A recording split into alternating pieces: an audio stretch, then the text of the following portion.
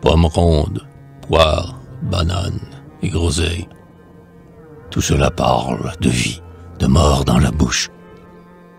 Je sens. Lisez plutôt sur le visage de l'enfant lorsqu'il mord dans ses fruits. Oui, ceci vient de loin. Sentez-vous l'ineffable dans votre bouche? Là où étaient des mots coulent des découvertes, comme affranchis soudain de la pulpe du fruit.